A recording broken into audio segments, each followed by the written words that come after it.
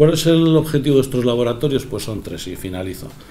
Son tres objetivos. Uno, evidentemente, es la docencia y el aprendizaje de los alumnos de grado.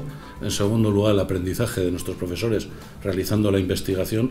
Y en último lugar, y no menos importante, sería que a nosotros nos interesa tremendamente que estos equipos también puedan ser utilizados por el resto de la sociedad y puedan ser utilizados en la asistencia. Ekitaldi honen ondoren ikusiko ditugun ekipamenduek lehen mailako irakaskuntza ahalbideratuko dute. Bai graduan eta baita ere gradu ondokoan. Irakasleen aldetik esan beharra dago elebitasunaren aldeko apostu argia egin dugula. Eta irakasleen euneko irurogeita mabosta baino gehiago elebidunak dira.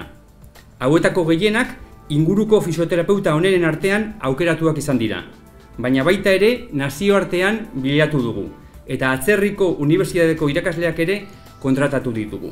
Es necesario reconocer la labor de la persona a la que sustituyo en este discurso, el doctor Jesús Seco, profesor de fisioterapia de la Universidad de León y el verdadero alma mater de la puesta en marcha de la titulación.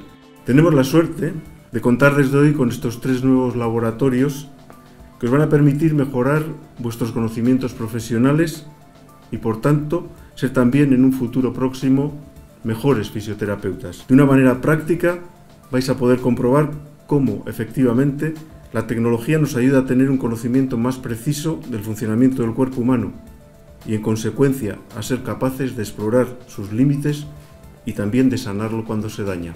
Orain, hiru laborategi hauek inauguratuta, proiektu hau indartu nahi dugu. Horrela, prestakuntza prozesua hobetu eta aldi berean, ikertzearen aldeko erronka berresten dugu.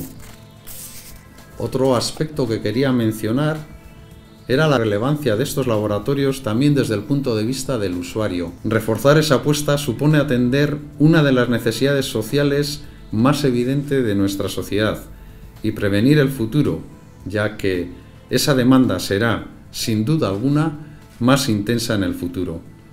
En ese sentido, la inminente puesta en marcha de un máster en envejecimiento saludable y calidad de vida tendrá lugar el próximo curso y completará este nuevo espacio de docencia y de investigación.